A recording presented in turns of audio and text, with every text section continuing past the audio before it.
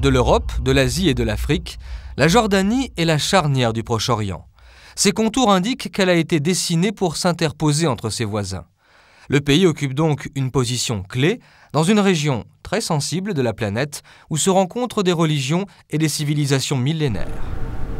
Au milieu du désert, la vie est apparue suffisamment tôt pour que certaines techniques de céramique élaborées y soient au point plus de 6000 ans avant la naissance du Christ.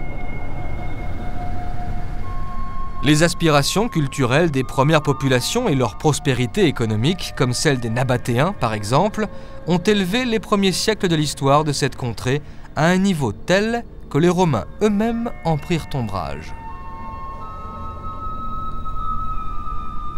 En plein cœur d'une terre vouée à l'islam, la Jordanie est née en 1946 d'une partition complexe menée par la France et l'Angleterre sur les ruines de l'Empire ottoman. Le royaume sera conduit pendant un demi-siècle par le roi Hussein, auquel son fils Abdallah succédera. La vallée du Jourdain est toujours zone sensible, car le fleuve marque la frontière avec Israël au nord, avec la Cisjordanie occupée au sud. Cisjordanie, le théâtre des efforts pour la création de l'État palestinien. La mer Morte est également mer frontière avec Israël, dont le territoire jouxte la Jordanie jusqu'à la mer Rouge. L'accès à cette mer est vital pour le royaume, constitué à 80% de déserts parfois très rudes. La population est très jeune. La croissance démographique est spectaculaire. Depuis la naissance du pays, la population a été multipliée par 10. La religion musulmane sunnite est largement majoritaire dans une société où les chrétiens représentent moins de 5% les Jordaniens ont réussi à forcer le désert et à le contenir partout où c'était possible, malgré une terre pauvre et de faibles ressources en eau. La moindre goutte d'eau est utile sur un territoire environ 7 fois plus petit que la France, où les cultures sont limitées à un faible pourcentage de la superficie nationale. Sans un réseau d'irrigation très ramifié, la vie serait impossible. La maîtrise de l'eau impose de lourdes contraintes techniques. Elle pose aussi des questions politiques dans un contexte délicat où la construction d'un barrage relève d'un choix stratégique. Par la mer Rouge, la Jordanie peut exporter ses deux richesses géologiques. Le phosphate de calcium, un engrais qui place le pays parmi les principaux producteurs mondiaux, et, avec d'autres sels minéraux, la potasse. Le réseau routier jordanien passe pour être l'un des meilleurs du Proche-Orient. Pour son approvisionnement énergétique, la Jordanie dépend de l'extérieur, car les énergies renouvelables ne suffisent bien sûr pas encore à combler les carences d'un sous-sol sans pétrole.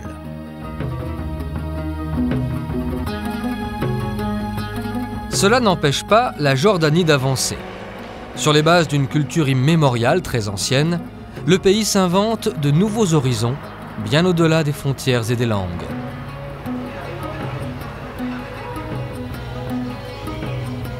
L'émergence des nouvelles technologies et l'art subtil du compromis entre les cultures permettent à la Jordanie contemporaine de voir grand. Entre les traditions et l'avenir, la voie semble tracée. À partir de sept collines initiales, les Djabal, la ville d'Amman s'étend en cercle concentrique souligné de larges avenues. Un boulevard périphérique long de 60 km draine la circulation autour d'une cité dynamique qui ne cesse de croître. D'est en ouest, Amman mesure 15 km, un diamètre presque aussi grand que celui de Paris, alors qu'environ 2 millions de personnes seulement y résident. En raison de cette conception de l'espace urbain, la ville d'Amman ne ressemble à aucune autre capitale du Proche-Orient.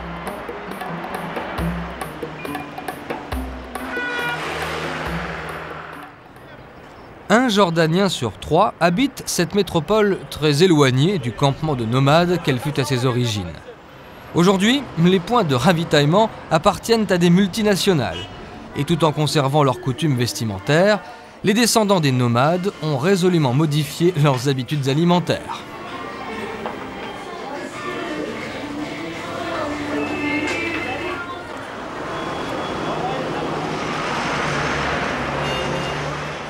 Dans la ville basse, le contact avec la population locale est facilité par la proximité des souks, hauts lieux de la vie commerçante.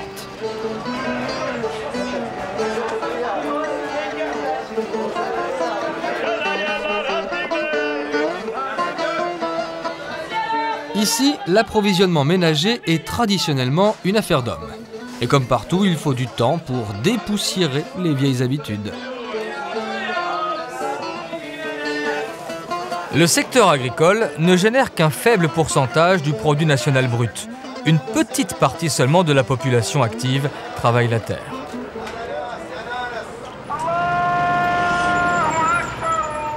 Les traditions et la société jordanienne sont profondément marquées par l'islam depuis le 7e siècle. Plusieurs mosquées servent de repères dans le ciel et dans l'histoire de la ville, comme celle du roi Hussein, construite en 1924, ou encore celle dédiée à son grand-père, le roi Abdallah.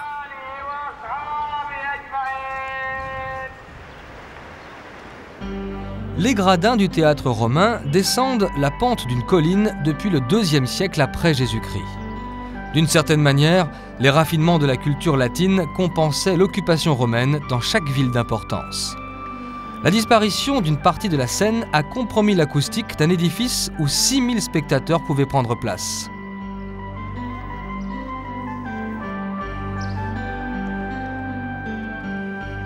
Sur les hauteurs de la citadelle, les ruines du temple d'Hercule remontent à la même époque. L'Empire romain absorba Amman, la ville rayonne encore de son prestige. Les Byzantins élevèrent ici une église dont les murs massifs contrastent avec les colonnes graciles du temple.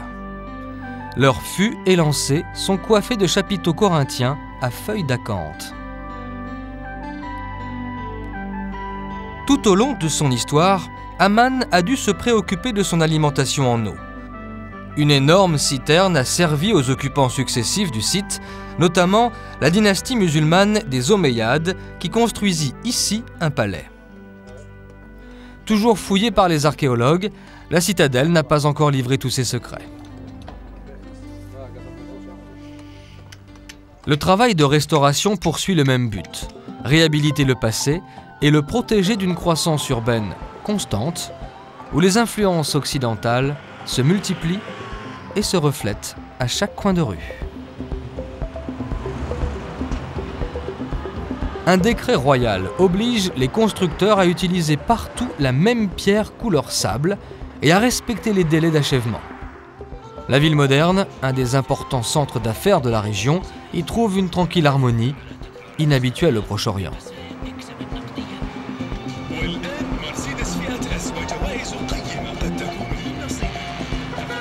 Dans la partie ouest de la ville, les quartiers chics semblent importés tout droit des États-Unis et les jeunes gens que l'on y rencontre n'ont rien à envier à ceux de Beverly Hills.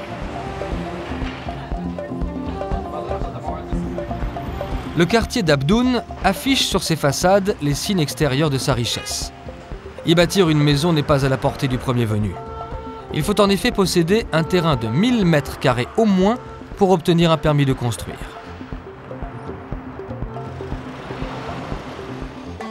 Dans le désert, l'eau est elle aussi un luxe appréciable. Le bain turc est un héritage de l'ancien empire ottoman. Les plaisirs de l'eau, le confort d'un cadre reposant et les bienfaits du temps libre ont été développés par les Romains et améliorés par les musulmans dans leur hammam. Les bains bouillonnants sont récents, mais l'étuve a toujours fait partie du hammam.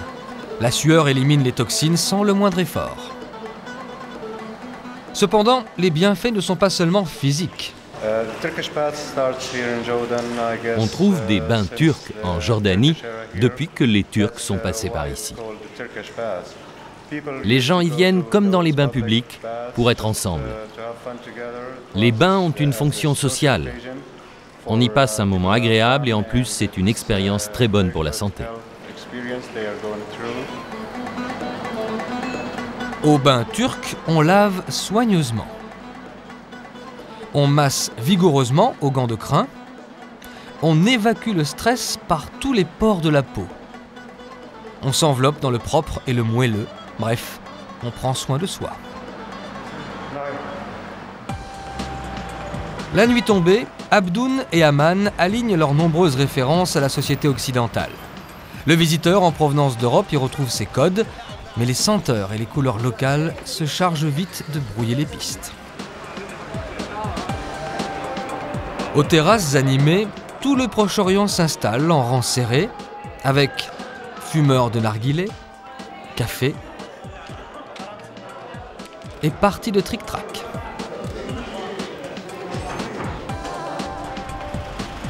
Les néons au kilomètre raccourcissent les distances et tendent un lien électrique entre les cultures. Le monde entier est à portée immédiate de la Jordanie et la capitale vibre de cette perspective. On perçoit d'ailleurs les mouvements qui se succèdent en ondulations régulières.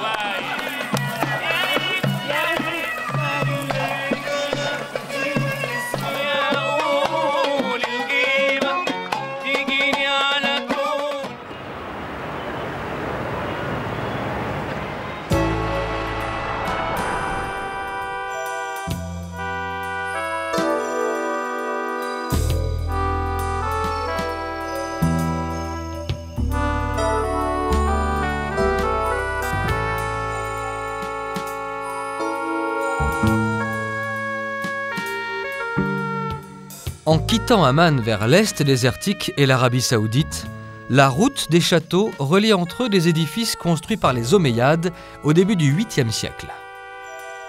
Avec ses hautes écuries pour dromadaires, la vocation du Kasser el-Harane était défensive. Kasser signifie château fort en arabe.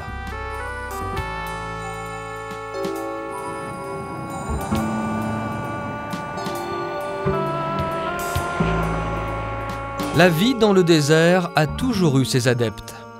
Le Kasser Amra n'était pas fortifié. C'était la résidence secondaire d'un calife, qui devait apprécier ici isolement et quiétude. Les califes omeyyades connaissaient la douceur de vivre. Un astucieux mécanisme de bois, aujourd'hui reconstitué, montre comment l'habitation assurait sa propre alimentation en eau du fond d'un puits de 15 mètres. L'intérieur du Kasser Amra est encore plus évocateur. Des fresques prouvent que la région n'était pas désertique et qu'on s'y livrait même à des parties de chasse. Les représentations humaines révèlent que l'islam ne les a pas toujours proscrites. En fait, leur interdiction remonte à la fin du 8e siècle. Les califes appréciaient aussi la compagnie des femmes.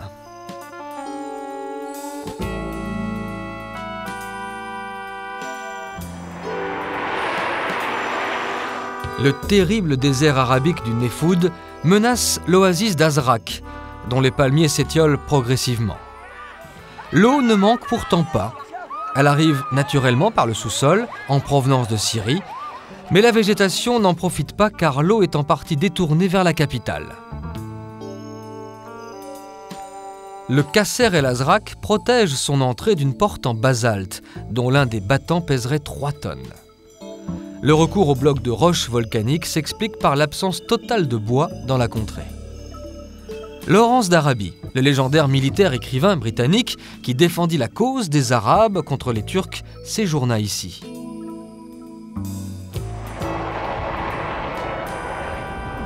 Autre édifice sur la route des châteaux, autre place forte romaine, le Kasser el-Halabat, un plan carré auquel les Omeyyades ont ajouté un peu de fantaisie. Les pierres de calcaire extraites des collines sont destinées à la capitale.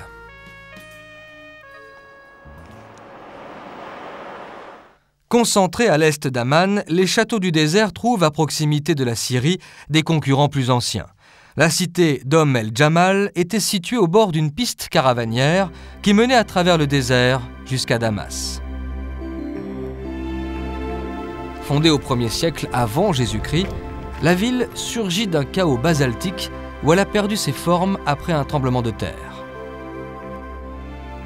Les blocs de cette pierre très dure ont en revanche bien résisté. même dans des positions quelque peu délicates. Les arcades audacieuses attestent du savoir-faire des architectes contraints de travailler sans la moindre pièce de bois.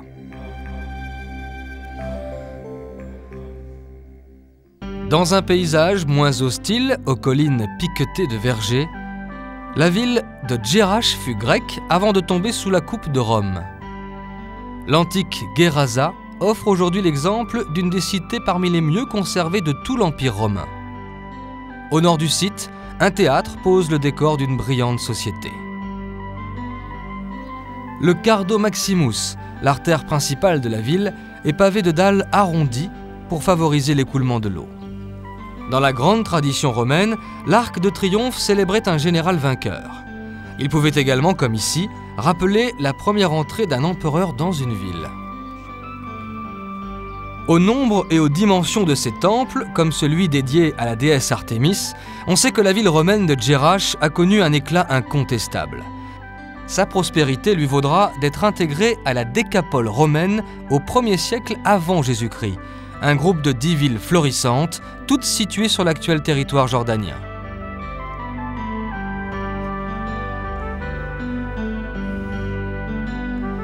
Sa richesse Djerash la devra à sa position sur la route des caravanes qui rejoignent l'Arabie. Une place à la douce forme ovale permettait une pause symbolique dans le tracé d'une voie qui se perdait au-delà d'un deuxième théâtre, loin vers le sud.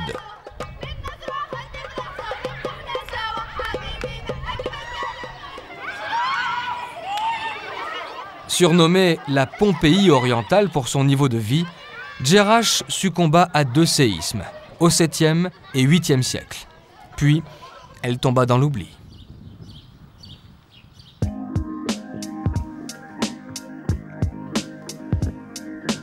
À la pointe nord du pays, la végétation peine à soutenir la concurrence du désert. Coincé entre les frontières israéliennes et syriennes, le territoire jordanien se resserre à l'extrême. Les vallées se creusent plus profondément en isolant les collines.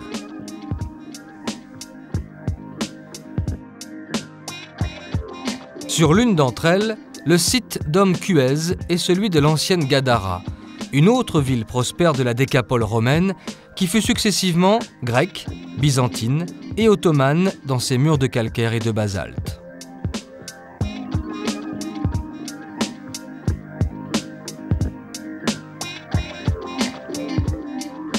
Les gradins du théâtre en basalte noir et les fines colonnes de calcaire clair aux chapiteaux délicatement travaillés se détachent sur le fond vaporeux du lac de Tibériade, aujourd'hui israélien.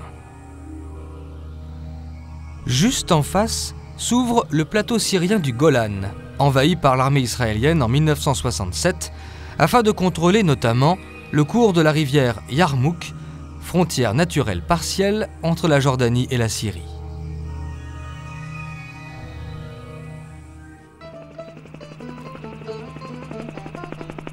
La dimension stratégique de la région n'avait pas échappé à l'émir, allié du sultan Saladin, qui construisit le château de Kalat Rabat au XIIe siècle pour s'opposer aux croisés.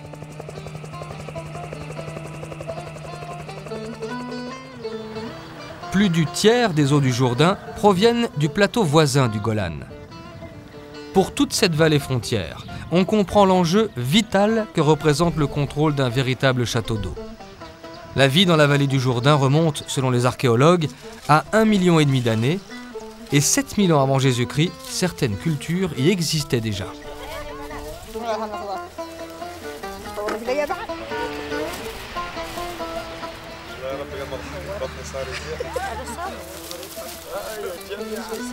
Pour les historiens, les rives du Jourdain porteraient les toutes premières terres agricoles de l'humanité. L'homme qui vivait jusqu'alors de chasse et de cueillette aléatoires, s'est installé pour cultiver, grâce au Jourdain et à l'exploitation parcimonieuse de son eau.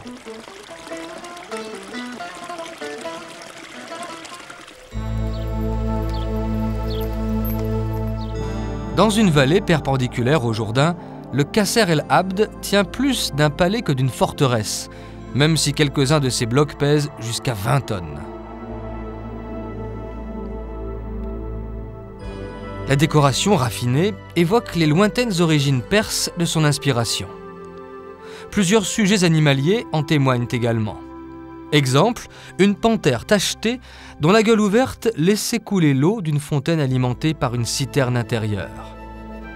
L'Institut français d'archéologie du Proche-Orient a répertorié chacun des blocs pour que le palais soit remonté. Un travail qui représente 10 ans d'efforts. En descendant la vallée du Jourdain, il arrive que l'on rencontre un cortège exubérant portant en triomphe un candidat au mariage. La plupart du temps, le mariage résulte d'âpres négociations entre les deux familles concernées. Après, forcément, on se décontracte.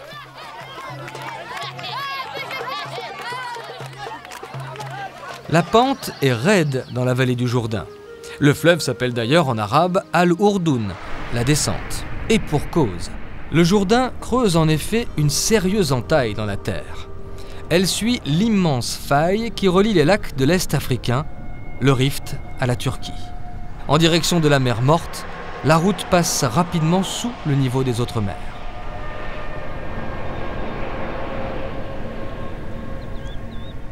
L'apparente santé des épis de maïs ne peut dissimuler le malaise des agriculteurs jordaniens qui se plaignent du partage inéquitable des eaux du Jourdain. La ville palestinienne de Jéricho n'est qu'à 7 km du fleuve, et les barbelés israéliens mordent sur les lieux mêmes où le Christ fut baptisé par Jean-Baptiste. Grâce aux évangiles, l'endroit fut localisé avec précision dès le IIIe siècle. L'organisation matérielle du site, conçu pour accueillir les pèlerins, a également retenu l'attention des archéologues qui continuent à faire des découvertes. Uh, Le plus important, ce sont sans doute les trois églises découvertes à 300 mètres à l'est du Jourdain. Il y a l'église de Saint Jean-Baptiste. Les pèlerins disent qu'elle a été construite pour commémorer le baptême du Christ. La troisième, de style byzantin, a été découverte récemment.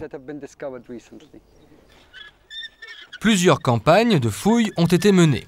Elles aboutirent à la découverte de différents édifices réalisés à des époques successives. Cette église a été découverte en 1998. Elle est presque rectangulaire. Et les inscriptions nous disent que l'ensemble du monastère a été construit par Rotorius en l'honneur de Jésus-Christ.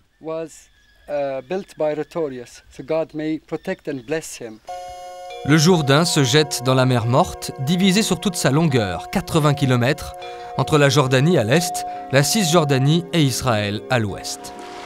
La surface de l'eau marque l'altitude la plus basse de la Terre, à plus de 400 mètres sous le niveau des mers. Cette mer fermée, un lac en réalité, occupe une cuvette où la température peut monter jusqu'à 50 degrés à l'ombre en été. Tout cet environnement fait que les eaux de la mer morte n'ont pas les mêmes propriétés que l'eau d'une piscine. La forte évaporation, en raison de la chaleur, et la nature des sols font monter la salinité de l'eau, qui atteint un niveau 8 fois plus élevé que l'eau de mer normale. Résultat, ça flotte. Il y a le sel, il y a aussi la boue. Une boue riche en sels minéraux dont il est conseillé de s'enduire la peau.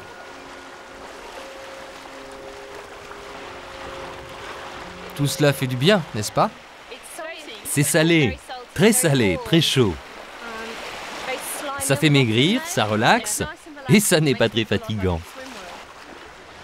L'industrie des loisirs ne suffit bien sûr pas à exploiter les ressources de la mer morte la concentration en sel est telle que toute vie animale ou végétale est exclue. Les poissons du Jourdain qui s'y égarent meurent en moins d'une minute. Ce sont les marais salants qui permettent de récolter au mieux les sels de sodium, de magnésium et de potassium, entre autres. Un seul litre d'eau de la mer morte contient 300 grammes de sel. Une vraie mine, à sel ouvert.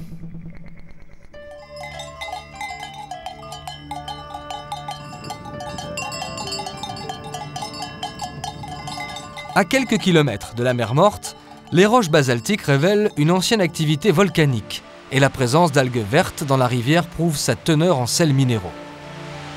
L'eau s'échappe en amont des bassins naturels de Zarkamaïn alimentés par des sources thermales riches en soufre. La température de l'eau peut atteindre 60 degrés.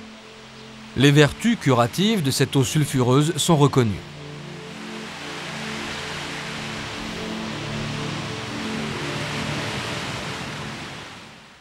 En quittant la mer Morte en direction du nord-est et de la ville de Madaba, on gagne un autre des hauts lieux de la Bible, le mont Nebo, où Dieu donna rendez-vous à Moïse.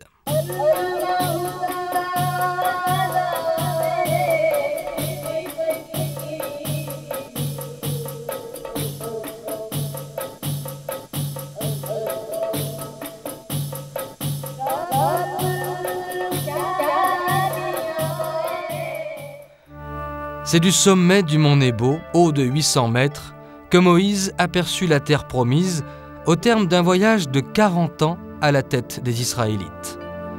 Mais le prophète ne pénétrera jamais sur cette terre, car il mourra ici. Le site fut acheté par des franciscains dans les années 1930. Les religieux dégagèrent les ruines d'un monastère aujourd'hui intégré à une église qui a conservé des pavements en mosaïque du VIe siècle. Certains fragments du sol ont été dressés pour faciliter leur examen. Des mosaïques en excellent état composent un extraordinaire catalogue de la faune locale à l'époque où se côtoient antilopes, zèbres et même autruches.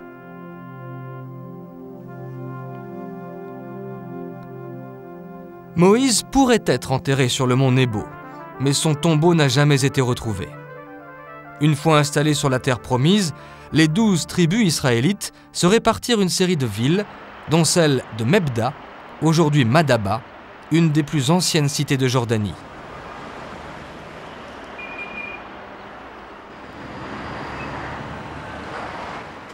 L'église Saint-Georges appartient au rite orthodoxe grec. Sur son dallage, elle déroule une étonnante mosaïque byzantine du VIe siècle. À partir de l'embouchure du Jourdain dans la mer Morte, la mosaïque dessine une carte de la Palestine de l'époque. Les noms de lieux, des événements ou des personnages sont en grec. Dans le parc archéologique de Madaba, de nombreuses autres mosaïques ont été découvertes. Leur inspiration et leur qualité sont comparables à celles du mont Nebo une véritable école de mosaïque entretient ici un très ancien savoir-faire.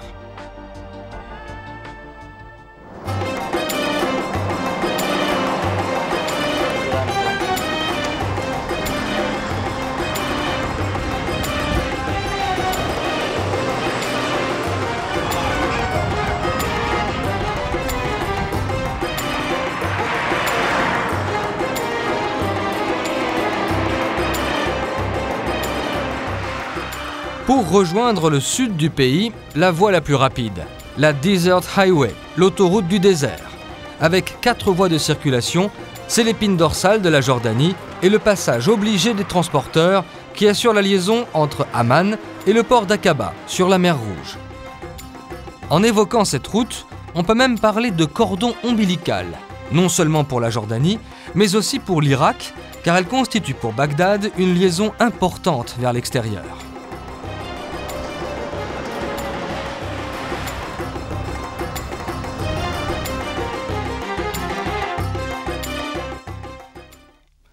La Desert Highway est une solution pour atteindre le sud, mais il existe une voie parallèle nettement moins directe.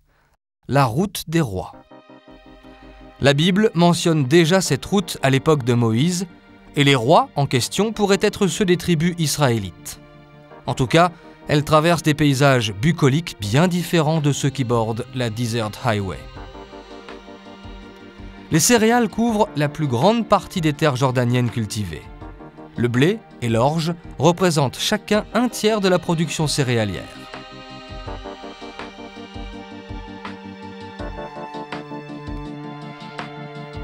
À proximité de la route, les ruines d'Om et Razas sont dominées par une tour haute de 10 mètres.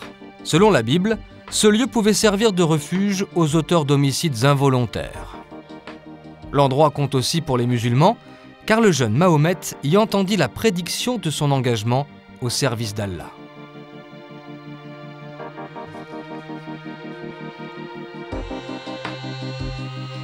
Vers le sud, la route des rois adopte un tracé plus sinueux pour négocier les obstacles posés par le relief.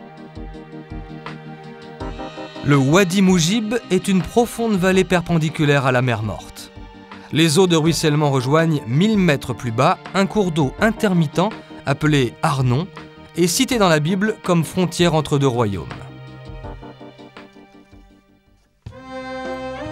Fondue dans la roche, la forteresse de Kérak est un krak, un château fort construit par les croisés au XIIe siècle pour tenir les infidèles à distance après la libération de Jérusalem.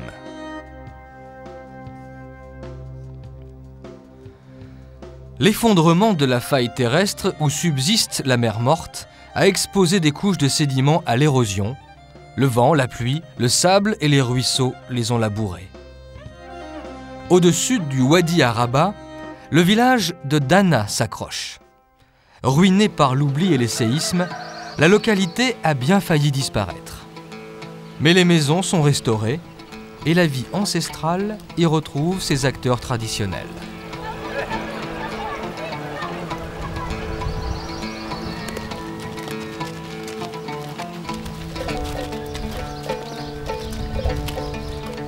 La vie a repris à Dana, notamment grâce à une des fondations de la reine Nour, la veuve du roi Hussein.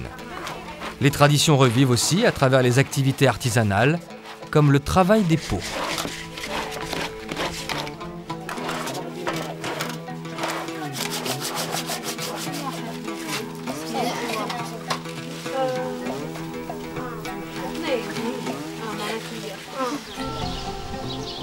Une réserve naturelle a été créée pour valoriser l'environnement et l'écotourisme. On trouve à Dana environ 700 types de plantes, 45 espèces animales et 240 espèces d'oiseaux. On trouve ici des choses vraiment exceptionnelles. On essaie de collaborer avec les gens d'ici. L'équipe de la réserve naturelle est constituée de locaux on a introduit ici à Dana les principes de l'écotourisme et de la réserve elle-même. Un camp de base niché sur un plateau permet de rayonner dans un paysage lunaire.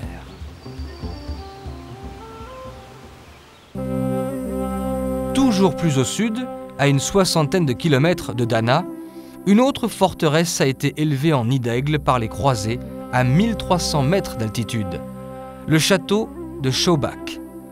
Il sera conquis par le sultan Saladin après un an et demi de siège.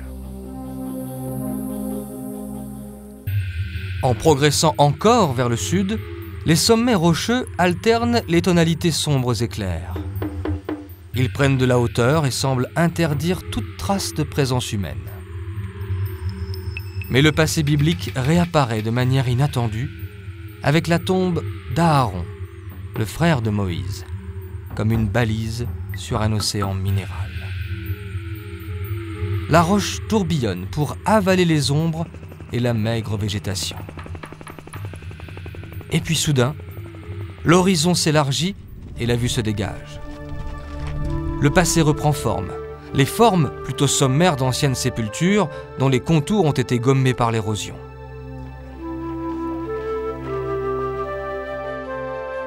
C'est l'entrée de Petra, un site unique, l'un des plus fascinants de tout le Proche-Orient.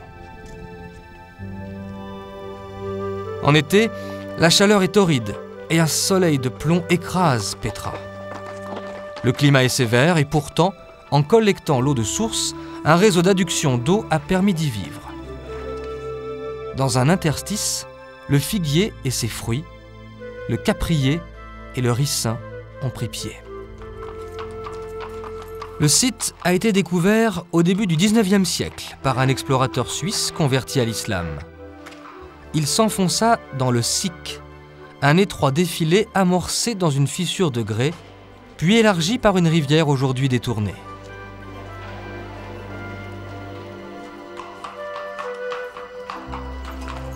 Depuis, les découvertes se sont succédées, comme un pavage romain désensablé en 1997.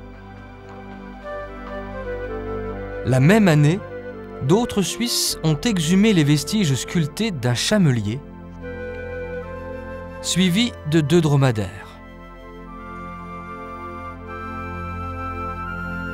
Il est parfois difficile de distinguer le travail de l'homme de celui de l'érosion. Le SIC déroule un bon kilomètre entre des parois qui peuvent atteindre 100 mètres de hauteur. Parfois, elles se rapprochent au point qu'on peut les toucher simultanément avec les deux mains. Tout à coup, le prodige s'accomplit et la roche de grès brut se hisse au rang d'une œuvre d'art. Le tombeau El Razné, le trésor, est un des joyaux de cette nécropole imaginée et ciselée dans la falaise par les Nabatéens. Les Nabatéens, un peuple de nomades venus d'Arabie, enrichis par le commerce de l'encens et dont l'histoire culmine au moment de la naissance du Christ. Ils accumuleront de telles richesses que l'empereur Trajan en personne s'en inquiétera. Mais ce sont les Bédouins qui ont donné à l'édifice son surnom. On l'appelle le trésor parce que les Bédouins, les nomades qui s'installèrent ici à Petra il y a deux siècles, pensaient que l'urne qui surmonte la partie supérieure là-haut contenait le trésor d'un pharaon. Pour cette raison, les Bédouins, il y a un siècle, ont tiré au fusil sur l'urne pour la faire éclater. Mais en fait, cette façade-là protégeait un tombeau commémoratif pour un roi nabatéen.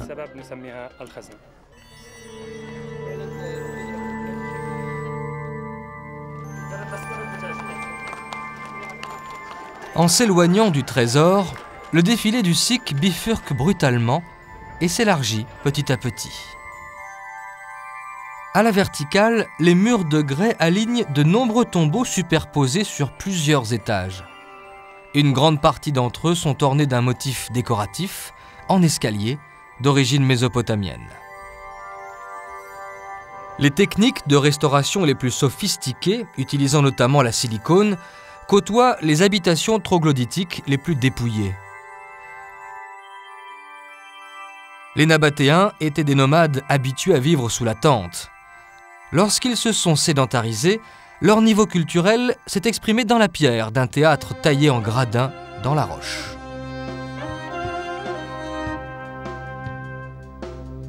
Sur une trentaine de rangées, 3000 spectateurs pouvaient prendre place.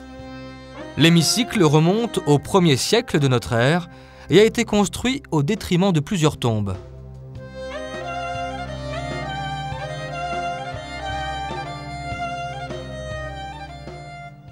La magie de Petra tient beaucoup à ses constructions imprévisibles.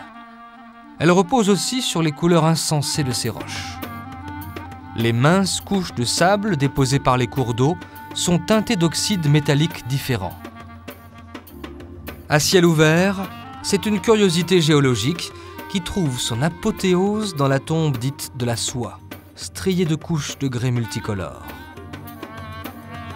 La tombe de l'urne, elle, dépasse les 20 mètres de hauteur. Elle fut transformée en église au 5e siècle. La destination initiale de ces monuments divise encore les spécialistes. Tombe palais, temple ou mausolée Bien des questions restent en suspens.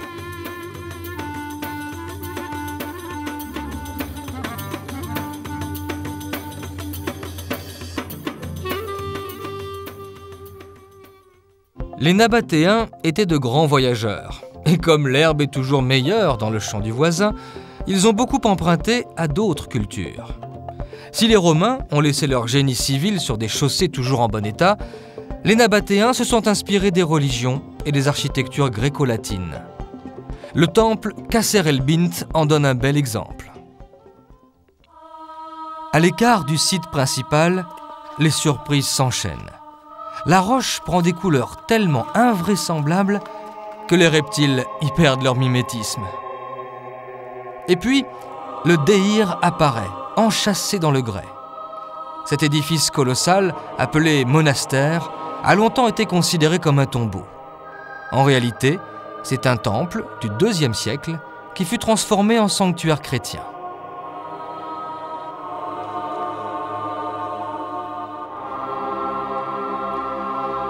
Peu importe en définitive de connaître l'affectation réelle de ces édifices incrustés dans la roche en très grand nombre, certains pompeux, d'autres beaucoup plus modestes. À travers eux, les Nabatéens, qui n'ont pourtant pas pesé bien lourd dans l'histoire du Proche-Orient, ont réalisé une synthèse originale de techniques, de culture et de style très éloignés les uns des autres. Pour reconnaître l'avance des Nabatéens, il suffit de comparer sur le site de Petit Petra avec les vestiges austères laissés par les croisés mille ans plus tard. La récupération de Petra par l'industrie touristique est un réel danger. La pierre polychrome doit reculer devant une marée immobilière. La localité de Wadi Moussa, toute proche, ne cesse de se développer. Les marchands des temples sont parfois difficiles à contenir car ils s'adaptent aux technologies nouvelles tout en perpétuant les techniques artisanales plus traditionnelles.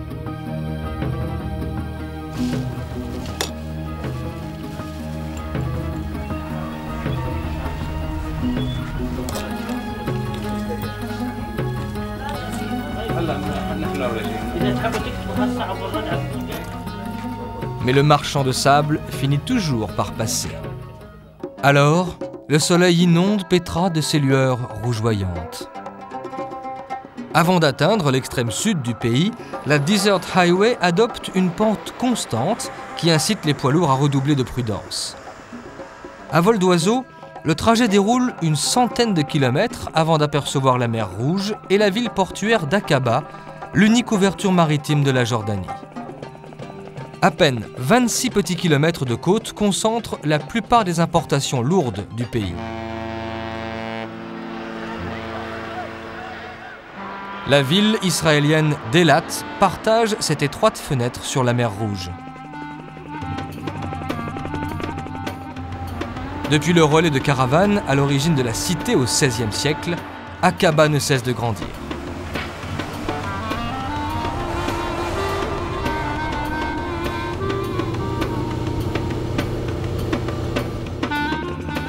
Le tourisme représentait avant la guerre du Golfe, en 1991, 15% du produit national brut. Avec les activités portuaires, c'est la principale source de revenus pour la ville d'Aqaba.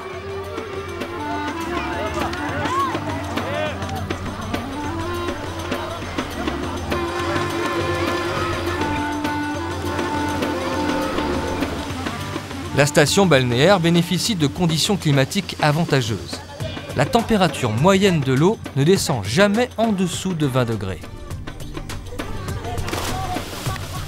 La mer Rouge attire les plongeurs du monde entier, qui la fréquentent hiver comme été. Le long de la côte, on a plus d'une vingtaine de sites de plongée. Chaque spot a ses uh, particularités. Il y a des épaves et partout de magnifiques récifs de corail. Les coraux sont proches de la côte et faciles d'accès. Vous faites une trentaine de mètres et vous êtes au milieu des coraux. Plus la température des fonds sous-marins est élevée, et plus la faune et la flore sont variées et colorées.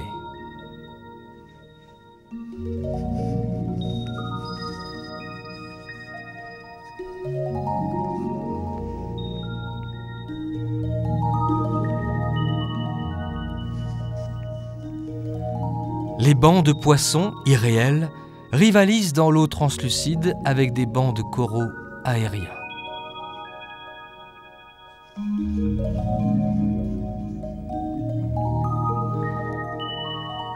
Un balai incessant auquel la plupart des espèces marines de la création participent. Poissons, reptiles amphibies et mammifères aquatiques. Sans oublier quelques vertébrés familiers.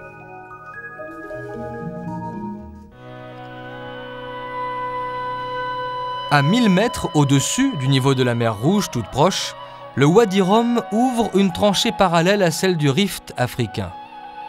Pendant des millions d'années, l'érosion a évacué les sédiments pour dégager d'énormes blocs granitiques sous l'action d'un vent de sable abrasif.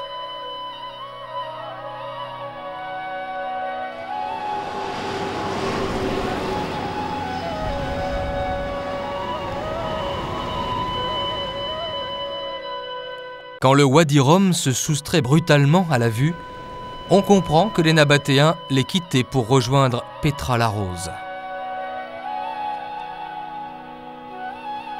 Mais lorsque la tempête retombe, il reste la majesté splendide d'une mer aux lames de fond pétrifiées.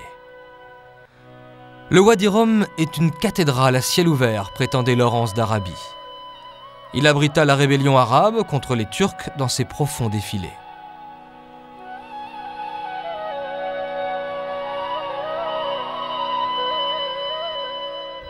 Dans le village de Wadi Rum, la Grande-Bretagne a laissé des traces de son organisation militaire. En recrutant des Bédouins réputés pour leur ardeur au combat, la police du désert a été intégrée à l'armée jordanienne. Elle surveille aujourd'hui les frontières et garantit la sérénité des lieux. Aussi loin que le regard puisse porter, le Wadi Rum constitue un des derniers territoires jordaniens où les Bédouins vivent encore en nomade. La noblesse de leur allure n'a d'égal que la résistance légendaire de leur monture, dont ils obtiennent la totale soumission, du moins en théorie. Contrairement aux dromadaires, l'homme a toujours besoin d'eau. Ici, on peut récupérer l'eau dans les montagnes. On a des bassins naturels, car l'eau s'infiltre dans les montagnes. On récupère l'eau dans des récipients en cuir de chèvre.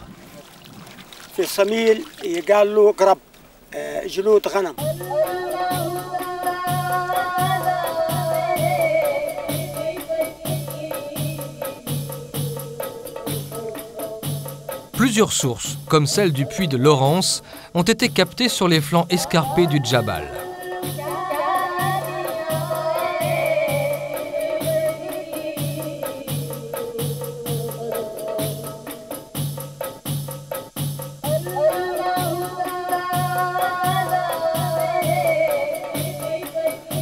Le dromadaire est parfaitement adapté au désert. Ses pieds s'étalent sur le sable comme des raquettes sur la neige, et malgré son teigneux caractère, il peut obturer hermétiquement tous les orifices de sa tête. Contrairement aux idées reçues, son unique bosse n'est pas remplie d'eau. Elle contient de la graisse qui lui permet de ne pas boire pendant deux semaines si nécessaire, sauf en cas de conditions extrêmes. En revanche, il ne peut pas se priver de nourriture. Au contraire du chameau, qui est un animal de trait, le dromadaire est excellent à la course.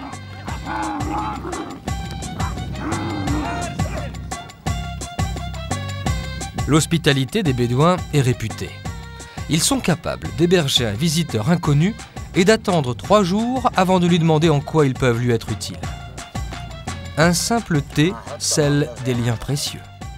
En effet, dans un désert hostile, les individus augmentent leurs chances de survie lorsqu'ils sont en groupe.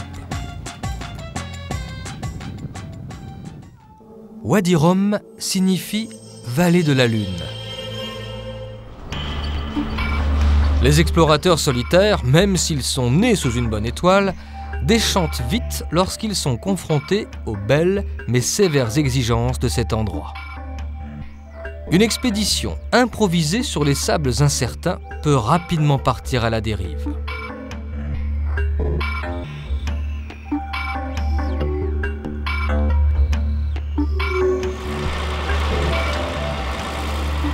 Oui, les pièges du désert sont bien réels. Mais la baraka, la chance en arabe, peut sourire. Et solidarité dans le Wadi Rum n'est pas un vain mot.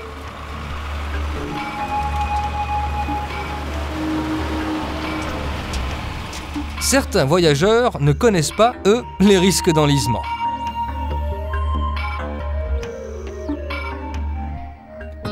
Un grand nombre de gravures rupestres, pas toujours faciles à dater, ont été exécutées par les Bédouins.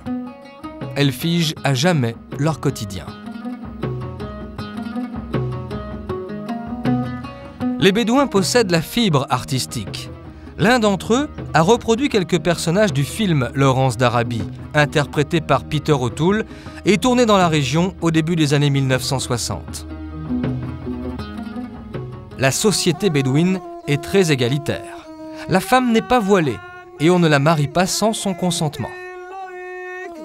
Le rababa est un instrument simple, il ne possède qu'une seule corde.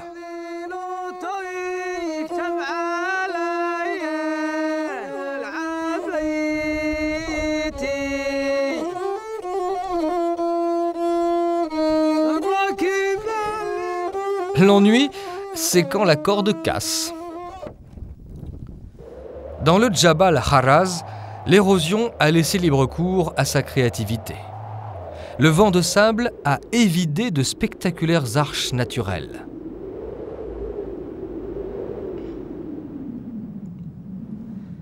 Les falaises du Wadi Rum opposent un défi permanent aux as de la Varap, vissés au flanc de la pierre nue.